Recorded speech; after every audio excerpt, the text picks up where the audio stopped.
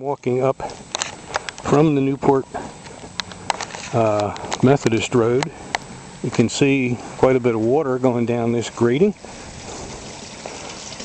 You even hear it for that matter. Certainly not plugged up. Now I'm walking up toward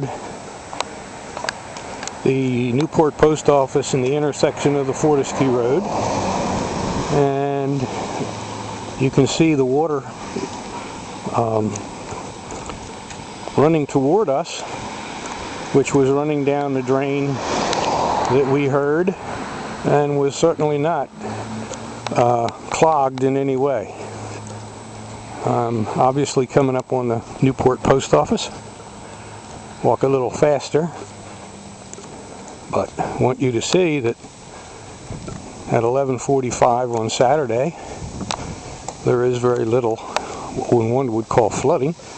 It's simply runoff from three days of rain. I mean, coming up on uh, the intersection of Fortescue Road.